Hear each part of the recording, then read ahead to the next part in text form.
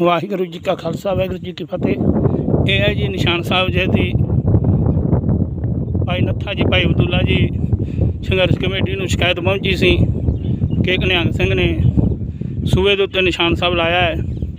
ਤੋ ਗੁਰੂ ਘਰ ਦੀ ਬੇਦਬੀ ਕਰਦਾ ਹੈ। ਨਾਲ ਹੀ ਸਾਹਮਣੇ ਮੀਟ ਦੀ ਦੁਕਾਨ ਹੈ ਜੀ, ਪਰ ਜਦੋਂ ਵੇਖਣ ਤੇ ਪਾਇਆ ਗਿਆ, ਨਿਸ਼ਾਨ ਸਾਹਿਬ ਸਾਫ਼ ਸਾਫ਼ ਸੁਥਰੀ ਜਗ੍ਹਾ ਤੇ ਲੱਗਾ ਹੋਇਆ ਹੈ। ਤੇ ਜੋ ਸਾਹਮਣੇ ਮੀਟ ਦੀ ਦੁਕਾਨ ਹੈ 3 ਮਹੀਨੇ ਤੋਂ ਬੰਦ ਪਈ ਹੈ। ਇਹਦਾ ਸ਼ਟਰ ਵੀ ਜੰਗਾਲਿਆ ਪਿਆ ਤਕਰੀਬਨ। ਤੇ ਜੋ ਉਹ ਨਿਹੰਗ ਸਿੰਘ ਜੀ ਹਨ, ਉਹ ਗੁਰੂ ਘਰ ਬਣਾ ਰਹੇ ਹਨ, ਸਾਰੇ ਨਗਰ ਦੇ, ਇਹ ਉਹ ਨਗਰ ਹੈ।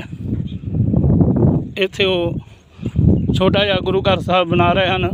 ਵਾਹਿਗੁਰੂ ਜੀ ਕਾ ਖਾਲਸਾ, ਵਾਹਿਗੁਰੂ ਜੀ ਕੀ ਫਤਿਹ।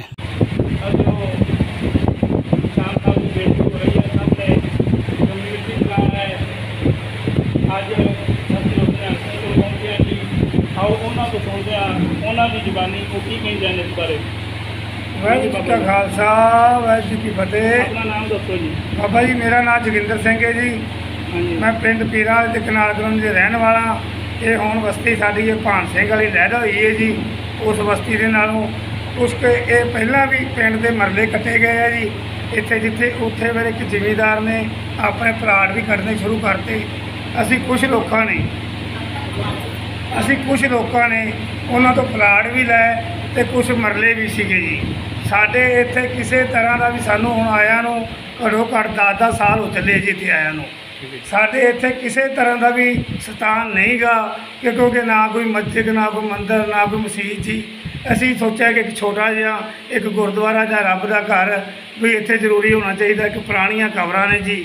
ਇੱਥੇ ਜਿੱਥੇ ਅਸੀਂ ਵਾਸਾ ਕਰ ਰਹੇ ਹਾਂ ਇੱਥੇ ਜਿਹੜਾ ਵੀ ਬੱਚਾ ਮਰਦਾ ਹੈ ਜੋ ਫਾਇਆ ਲੈ ਕੇ ਮਰਦਾ ਹੈ ਤੇ ਅਸੀਂ ਇਸ ਕਰਕੇ ਉਸ ਤਾਲ ਨੂੰ ਲਾਇਆ ਜੀ। ਠੀਕ ਹੈ ਜੀ। ਹਾਂਜੀ।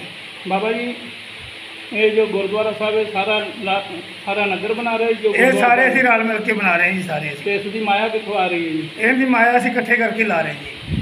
ਜਿਹੜੇ ਬਾਬਾ ਜੀ ਤੁਸੀਂ ਕਹਿ ਰਹੇ ਹੋ ਜਿਨ੍ਹਾਂ ਦਾ ਇਹ ਬਾਬਾ ਜੀ ਜਿੰਨਾ ਚਿਰ ਗੁਰਦੁਆਰਾ ਸਾਹਿਬ ਦਾ ਸਥਾਨ ਨਹੀਂ ਬਣਦਾ ਤੇ ਉਹਨਾਂ ਚਿਰ ਨਿਸ਼ਾਨ ਨਿਸ਼ਾਨ ਸਾਹਿਬ ਆਪਾਂ ਲਾ ਸਕਦੇ ਹਾਂ ਜੀ। ਬਾਬਾ ਜੀ, ਉਹਨਾਂ ਚਿਰ ਅਸੀਂ ਇੱਕ ਸਿਰਫ ਇਹ ਪਿੰਡ ਵਾਲਿਆਂ ਨੂੰ ਦੱਸਿਆ ਵੀ ਆਪਾਂ ਇੱਥੇ ਗੁਰਦੁਆਰਾ ਸਾਹਿਬ ਬਣਾਉਣਾ ਜੀ ਤੇ ਉਹ ਤਾਂ ਕਰਕੇ ਨਿਸ਼ਾਨ ਸਾਹਿਬ ਅਸੀਂ ਚੜਾਇਆ ਜੀ ਉੱਥੇ ਪਹਿਲਾਂ ਜੀ ਤੇ ਕਹਿਣ ਦਾ ਮਤਲਬ ਕਿ ਵੀ ਉੱਥੇ ਹੀ ਸਾਨੂੰ ਜਗ੍ਹਾ ਮਿਲੀ, ਫਿਰ ਅਸੀਂ ਉਸ ਤੋਂ ਬਾਅਦ ਸਰਪੰਚਾਂ ਕੋਲ ਗਏ, ਸਾਨੂੰ ਜਗ੍ਹਾ ਕਿਤੇ ਨਹੀਂ ਮਿਲੀ ਜੀ। ਫਿਰ ਅਸੀਂ ਹਾਰ ਕੇ ਨਹਿਰ ਮਹਿਕਮੇ ਕੋਲ ਗਏ ਜੀ, ਉਹਨਾਂ ਨੇ ਇਹ ਦਾਨ ਸਾਨੂੰ ਜਗ੍ਹਾ ਥੋੜੀ ਜੀ ਆਪਦੇ ਵਿੱਚੋਂ ਕੋਟੇ ਦੇ ਵਿੱਚੋਂ ਇਹ ਦਾਨ ਥੋੜੀ ਜੀ ਕੀਤੀ ਇੱਕ ਕਮਰੇ ਵਾਸਤੇ। ਤੇ ਅਸੀਂ ਉੱਥੇ ਕਮਰਾ ਬਣਾ ਰਹੇ ਹਾਂ। 10 ਬਾਈ 13 ਦਾ ਜੀ। ਮੈਂ ਤੁਹਾਨੂੰ ਪੁੱਛਾਂ। ਬਾਬਾ ਜੀ ਤੁਹਾਡੇ ਕੋਲ ਕੋਈ ਸਰਟੀਫਿਕੇਟ ਜਾਂ ਕੋਈ ਆਇਆ ਜੋ ਤੁਹਾਨੂੰ ਕਿਸੇ ਦਲ ਨੇ ਜਾਂ ਕਿਸੇ ਨੇ ਮਨਜ਼ੂਰੀ ਦਿੱਤੀ ਹੋਵੇ ਜੀ? ਮੇਰੇ ਕੋਲ ਸਰਟੀਫਿਕੇਟ ਹੈਗਾ ਜੀ ਬਾਬੇ ਤਰਨਾ ਦਲ ਦਾ ਜੀ।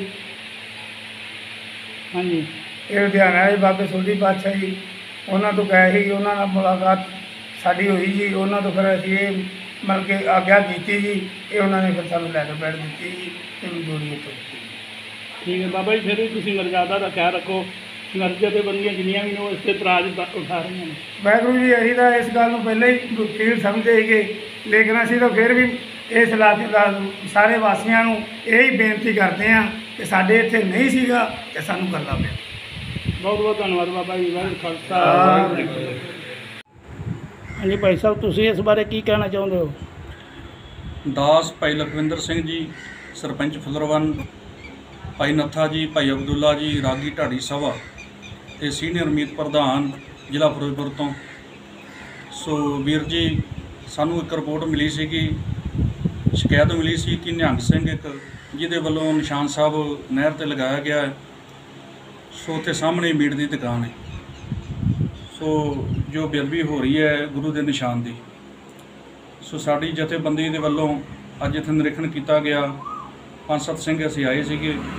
ਸੋ ਇੱਥੇ ਆ ਕੇ ਦੇਖਿਆ ਕੋਈ ਖਾਸ ਐਡੀ ਵੱਡੀ ਕੋਈ ਚੀਜ਼ ਨਹੀਂ ਸਾਨੂੰ ਮਿਲੀ, ਕਿਸੇ ਵੀ ਤਰ੍ਹਾਂ ਦੀ ਕਿ ਜਿਹਦੇ ਨਾਲ ਕੋਈ ਬੇਅਦਬੀ ਹੁੰਦੀ ਹੋਵੇ।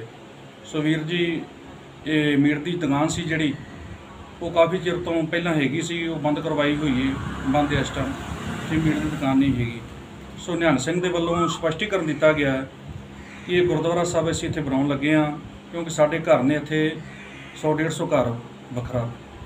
ਸੋ ਗੁਰੂ ਘਰ ਸਾਨੂੰ ਦੂਰ ਪੈਂਦਾ ਹੈ, ਇਸ ਕਰਕੇ ਅਸੀਂ ਇੱਥੇ ਗੁਰੂ ਘਰ ਬਣਾਉਣ ਲੱਗੇ ਹਾਂ, ਜਿਹਦੇ ਕਰਕੇ ਨਿਸ਼ਾਨ ਲਾਇਆ ਹੋਇਆ ਹੈ। ਕਿਸੇ ਵੀ ਤਰ੍ਹਾਂ ਦੀ ਕੋਈ ਇੱਥੇ ਵਧੀਕੀ ਨਹੀਂ ਕੀਤੀ ਜਾਂਦੀ, ਉਹਨਾਂ ਨੇ ਸਾਨੂੰ ਸਪਸ਼ਟੀਕਰਨ ਦਿੱਤਾ ਹੈ ਤੇ ਅਸੀਂ ਸਪਸ਼ਟੀਕਰਨ ਲੈ ਕੇ ਉਹਨਾਂ ਦਾ ਵਾਪਸ ਜਾ ਰਹੇ ਹਾਂ। ਵਾਹਿਗੁਰੂ ਜੀ ਕਾ ਖਾਲਸਾ, ਵਾਹਿਗੁਰੂ ਜੀ ਕੀ ਫਤਿਹ।